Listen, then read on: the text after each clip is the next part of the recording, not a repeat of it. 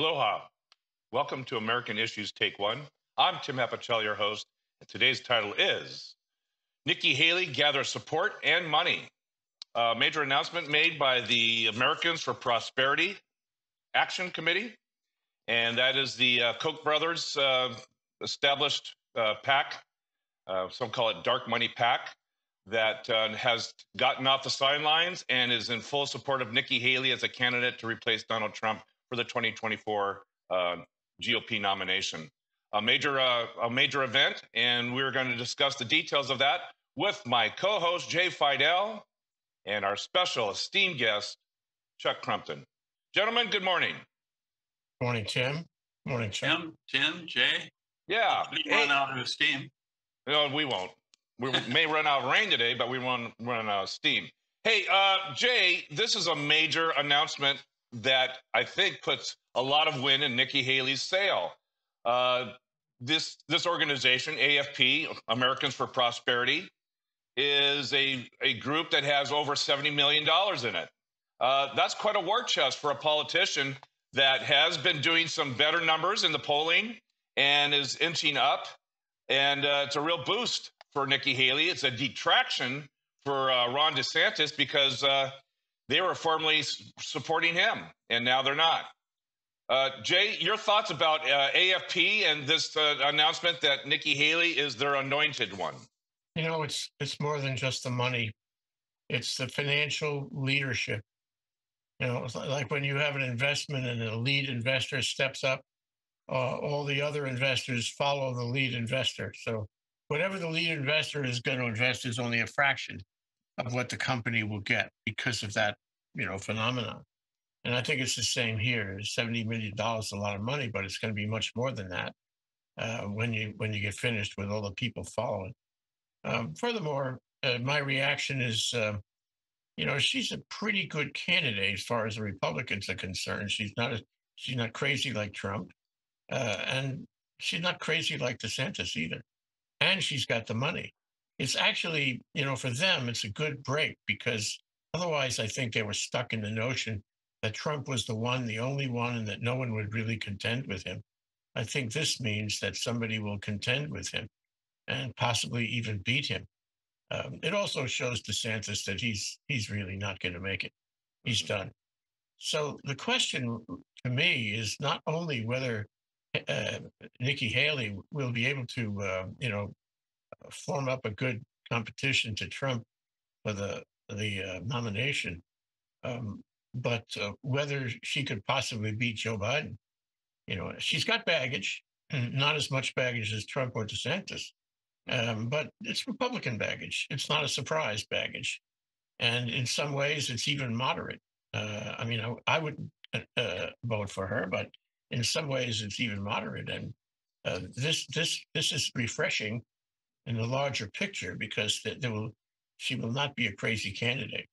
So I think the uh, the Koch brothers, Charles Koch, I think they've done her a, a, favor, but I think they've done the Republican Party a favor, and maybe even the country. Well, that's the operative point: is the country. Um, if you're concerned about the preservation of democracy in this country, uh, certainly the rule of law that goes with that, um, your concern is that anyone that is palatable other than Donald Trump. And does that message appeal to the independents and the moderates in the GOP party? Uh, or possibly those Democrats, believe it or not, that are not not happy with Joe Biden. Um, does Nikki Haley have that uh, air of appeal for all three uh, categories? Yeah, I think she does. The only question is the degree. How many? How many how many voters can she uh, eat off the margins? And uh, maybe some, maybe some, maybe enough to make it uh, make a difference. I mean, after all, um, she's she's um, she's got a position that's not so bad. There was a, a piece in the I think it was the Washington Post listing all her positions, and you know, to a moderate Republican, they might appeal, and that means a lot. Um, and I think um, to people who are willing to give money, the Koch Koch brothers' contribution is going to mean a lot. Um, and Trump is getting wilder and crazier, and all his vermin talk is um, is really got to be hurting him with at least some of his base. So, I, as I said, um, I, I think it's I think it's good news, and it may be bad news for Joe Biden. Okay, thank you, Jay. Hey, Chuck, uh, do you agree with uh, what Jay just said? That this is good news for Nikki Haley and good news for those moderates and or and or independents that um, do care about our Constitution and our democracy and find Trump completely um, not to be tolerated. Uh, is this a safe avenue with Nikki You know, Haley? Yeah, and it's always good to see Jay back to his consistently brilliant self and insightful self. And I, I do it for you, Chuck. well, that's that. I've I never that done it for works me. That works for me. So, but I, I, did, I do want to correct one thing, as I think because I because do some of it for you, Chuck. in acronyms, you're not supposed to use the preposition or the article, right? So the original name of that organization, uh, the Conservative Republican, you know the rest of it, right? The, Oh. acronym, the acronym is much more accurate. I, I follow you. Um, Okay. Okay, Continue. But, but what Jay's hit on, which is probably the most important thing, is this is another, not the first, not the last, but another really important indication that there is a real and growing portion of Republicans that are not with Trump, that are recognizing, hey, this guy's lost three years in a row. Um, the risk of him losing is too great, and the risk of what happens even if he wins is too great. We need an alternative. And that, the funding for that, the people with that is clearly growing. It's not reflected in the polls because they're not looking for that. But the third factor I think that's really important here is that because that element of choice has now been raised for the first time with any real backing, real money, real support, eh, you may start to see increasing divisions, increasing people who are willing to stand up on the Republican side and say, you know what, we should support Ukraine. You know what, we should keep the budget and keep the the deficit to allow the economy to proceed. We should not crash it just over, and we should stop this nonsense of disabling our military leadership because one guy wants an abortion policy in the military. That's not going to happen. So, all of those things, I think, are signs that over on the Republican side of the fence, although it's still a very ineffectual minority, it, it's real, it's growing, and it's funded. And that has to give Trump pause. Now the question is what has to happen to continue to feed that growth, to make it effective before the primaries paint an irreversible picture of the Republican nomination. That's, you know, um, Iowa Iowa caucus is a mere seven weeks away, I believe. And uh, although this data is a little old, it's October 30th from the uh, Des Moines Register and the NBC poll had Trump at four, in, in Des Moines in Iowa uh, had Trump at 43%, Nikki Haley at 16%, Ron DeSantis at 16%.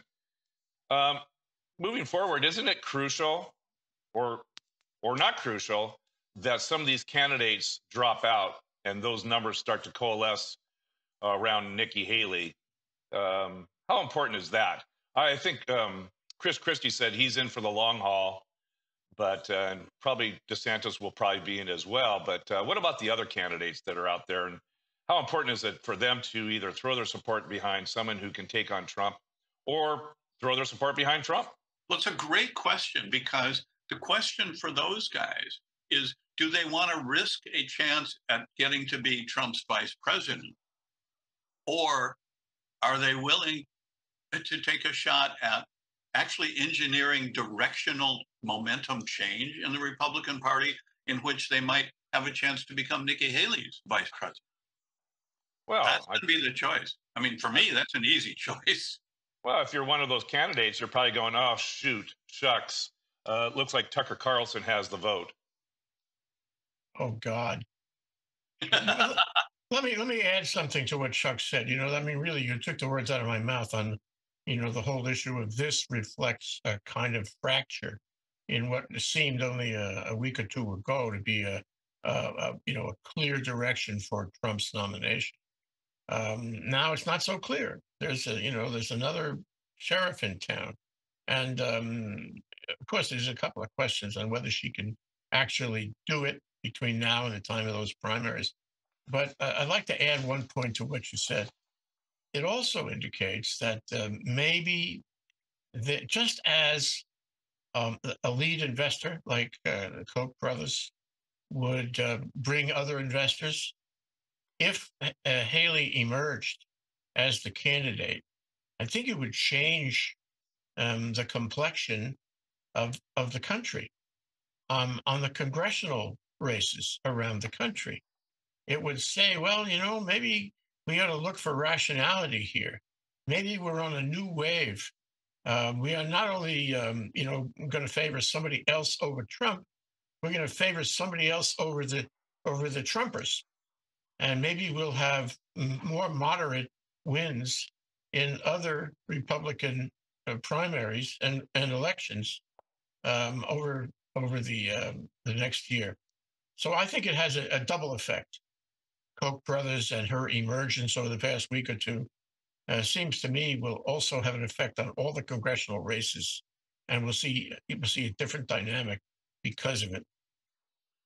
Could you envision Democrats contributing to her campaign financially? That's a really interesting question because there are Democrats who are with Biden in name only, uh, who increasingly question his uh, competence and age and leadership um, and maybe you know they would they would think that uh, she's a better a better bet. To go further on Chuck's point, um, she favors aid to Ukraine, and she favors aid to Israel, and that's unambiguous. Um, so uh, she may be offering something to a lot of people, uh, including Democrats, who would want to who would want to follow that lead. Um, it also depends. I mean, this is all a moving target. It's a moving target as far as Trump is concerned. It's a moving target as far as Haley's concerned. It's a moving target as far as Biden is concerned. Anything can happen any day to change the calculus.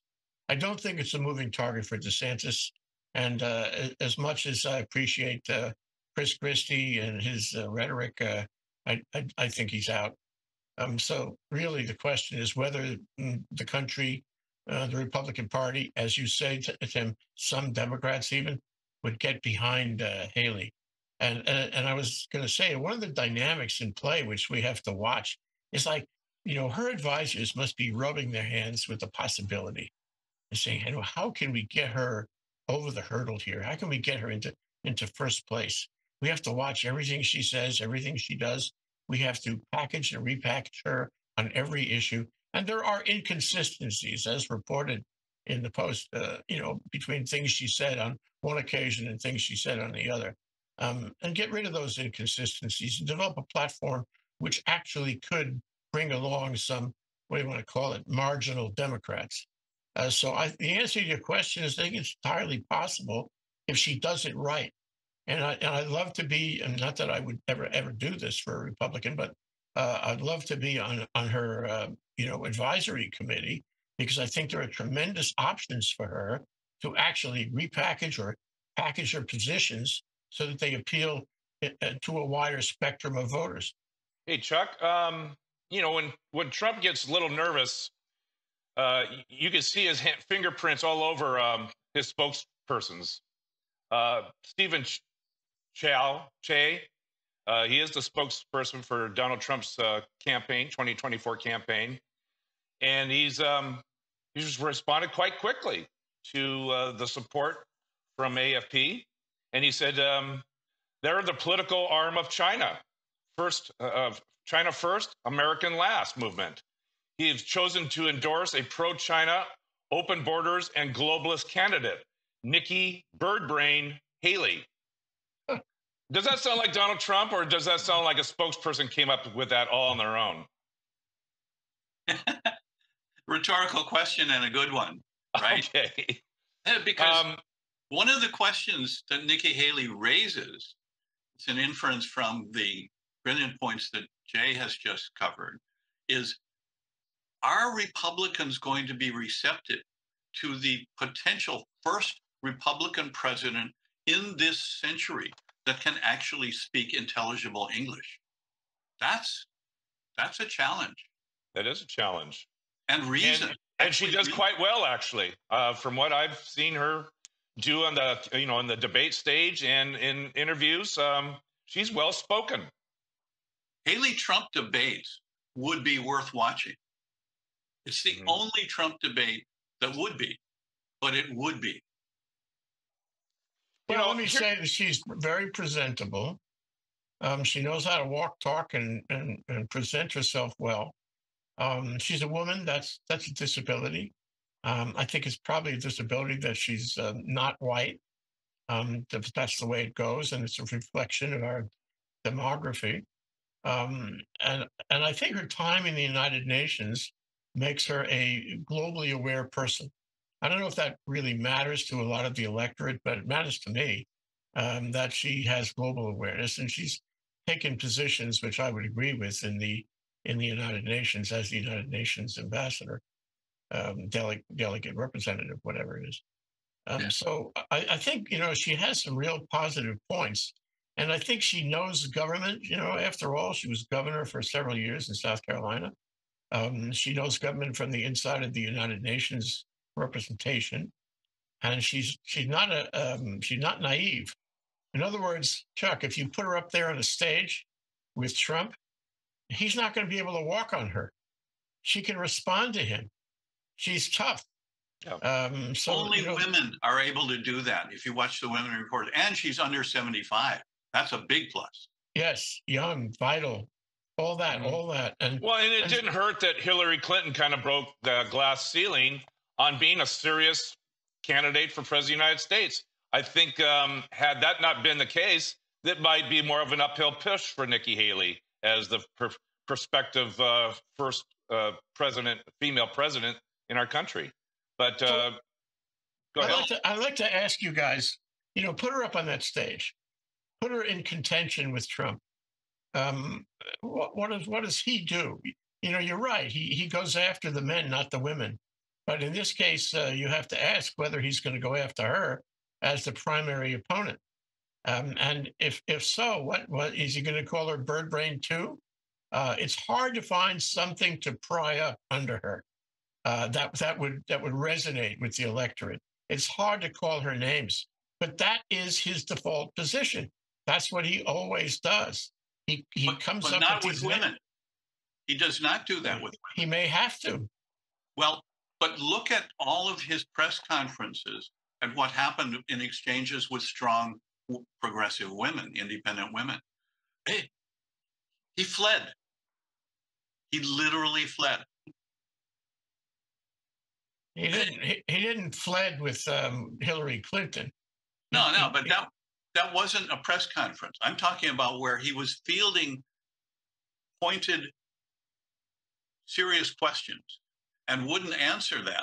And they challenged him on that.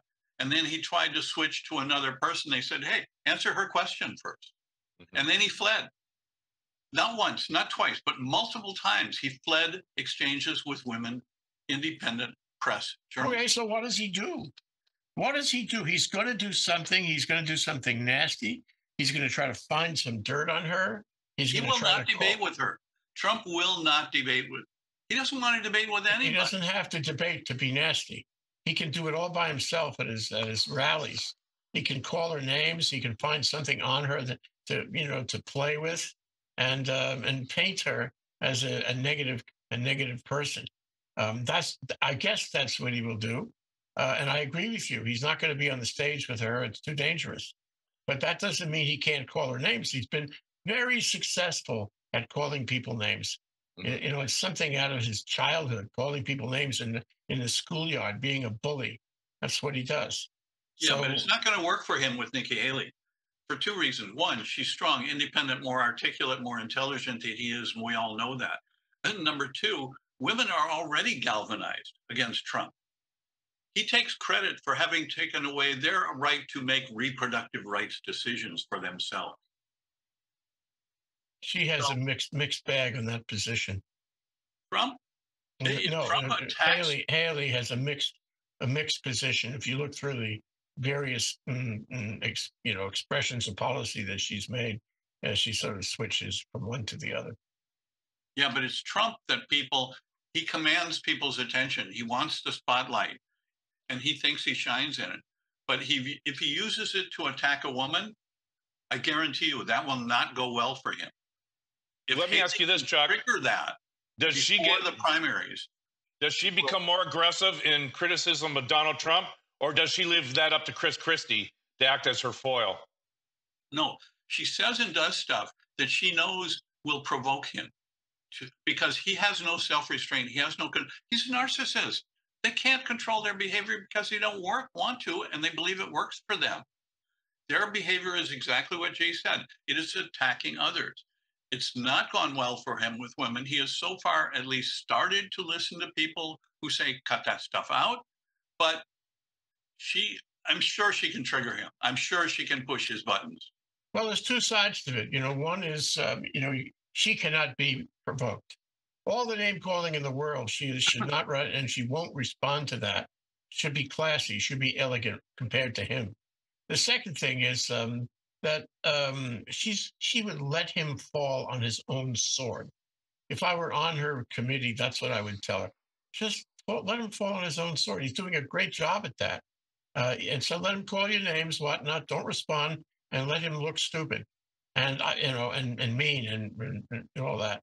Uh, I think I think that's that's what she will do, and that will work. That will work, and it'll make him look like he's misogynist, which is exactly what he is. But I like, I like to ask another question, Tim. and Um, real let- quick, before you do that, I, I think that really deserves the emphasis. Trump does do that with women underlings. He attacks judges' clerks. He attacks uh, Cassidy. He attacks uh, women underlings that he regards as inferior beings that he can get away with that with. That has not gone well for him either. So please proceed with your question. Well, I was thinking, you know, what is what is the the potentially optimistic view here is that she takes the nomination. Um, she takes it using, you know, good, thoughtful pos- positions on policy, and uh, she she deals with Trump and and and he, and he fails against her. And DeSantis and Christie and whatever else, they all go away because she's the strongest. And I, I think the press means so much, Tim to your concern about the press always, I think the press, as we are getting behind her, as the Koch brothers are getting behind her, and the press will, is already elevating her. So she stands a chance of getting the nomination against Trump as a Well, isn't that a- reasonable. Uh, the question then is if she gets the nomination and it's Haley v. Biden, what happens then? Where does it look? Well, there's another thing that is the corollary to that, which is if she were to get the nomination and win, the far right MAGA power in the House and in the party is not going to survive. She's not going to allow room for that. She's a strong, independent, progressive woman. She knows that has no place in this household. You out in the yard, watch. Well, that's a great that's a great point, Chuck. What does the MAGA GOP do if she supplants Donald Trump as the nominee in 2024? Um, do they go berserk uh, like uh, we all fear that they would? Uh, do we have violence in the street, or do they just uh, you know lick their wounds and go away and go under the rock in which they came from? Well, it's a clear, easy choice for them. They have to stick with Trump because he's all they've got. Once you stick with Trump, he is all you've got. Nothing else is available because no one else will touch him other than his devotees.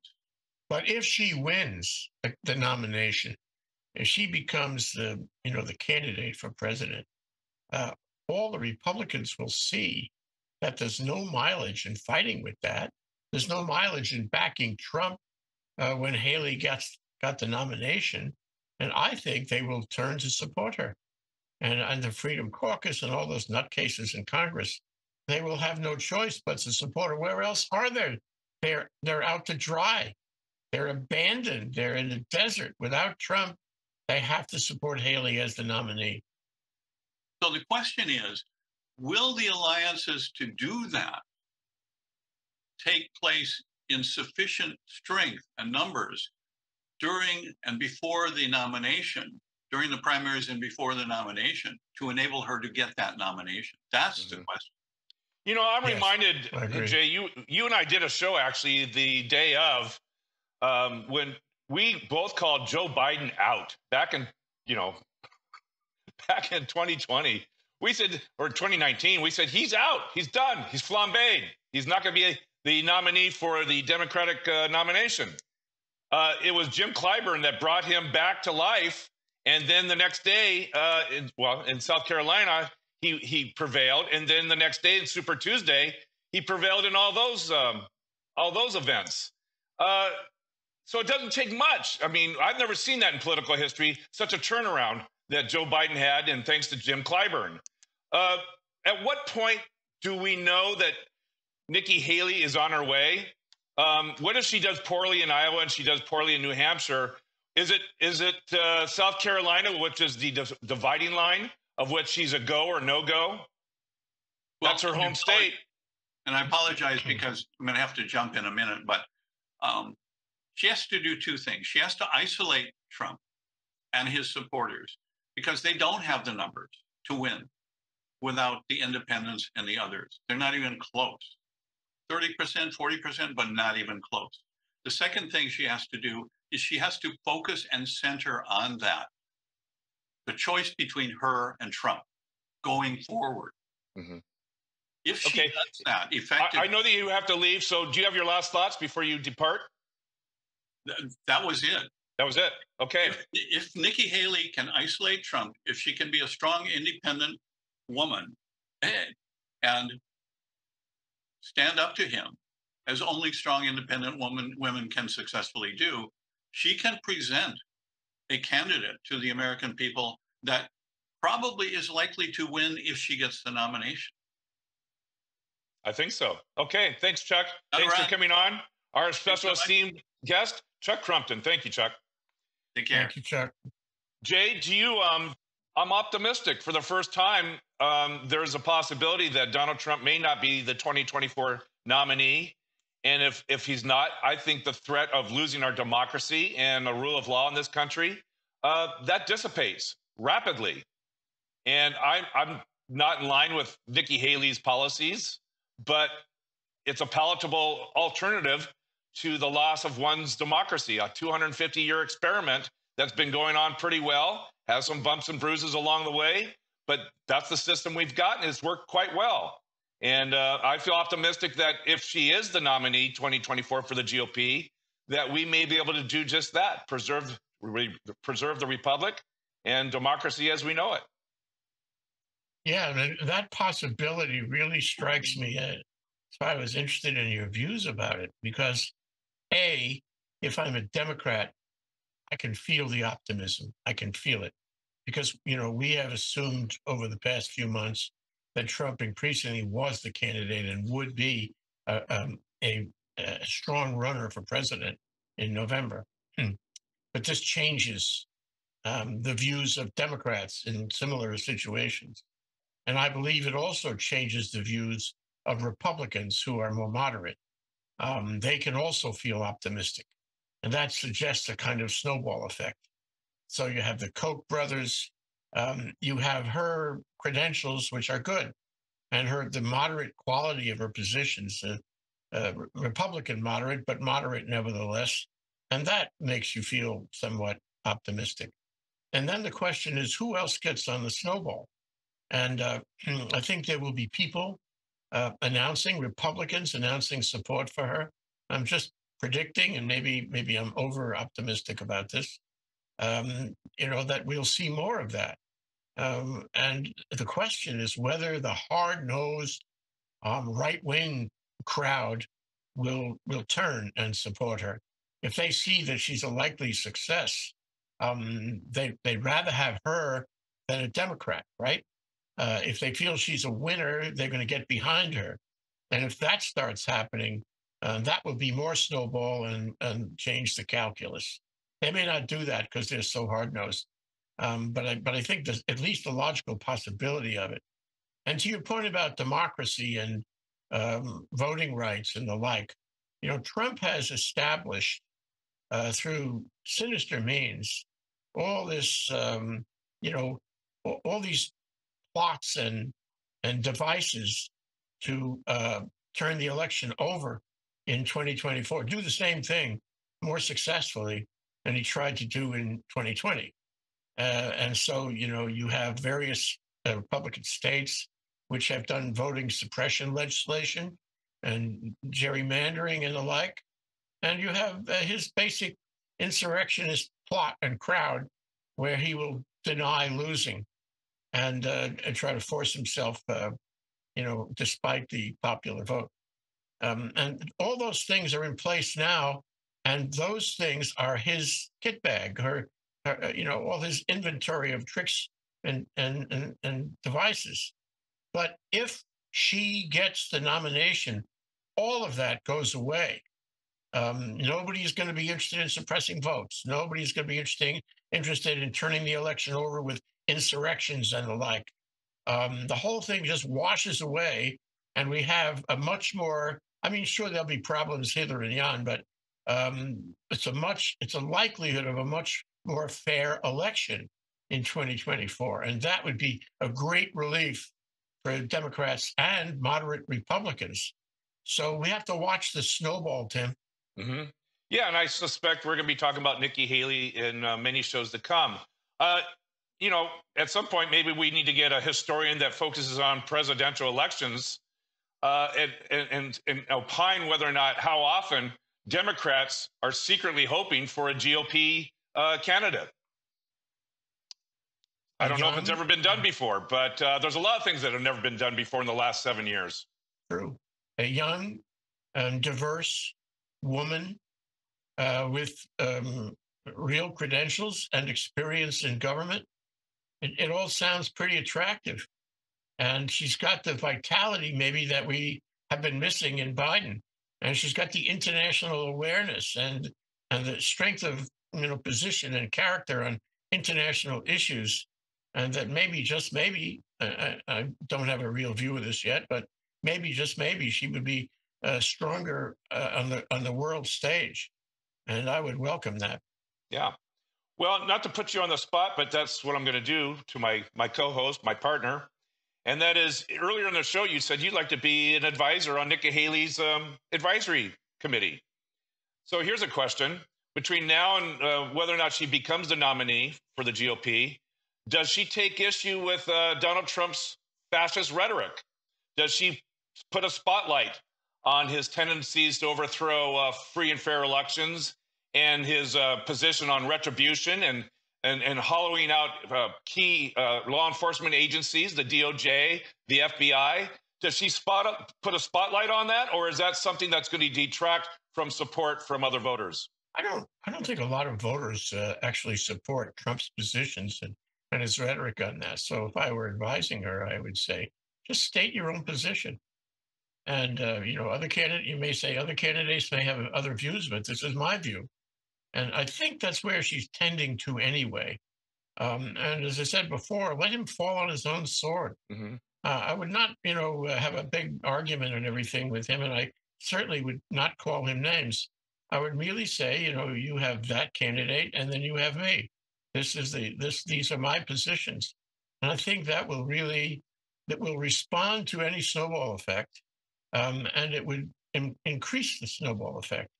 The the problem I don't know if there's been any press about this. The problem is at some point if she sees that she might be vice president, you know, vice presidential candidate under him, uh, she wants she probably wants to hold back and maybe support him more, not less. But I think she has the strength of character not to be comp- compromised that way.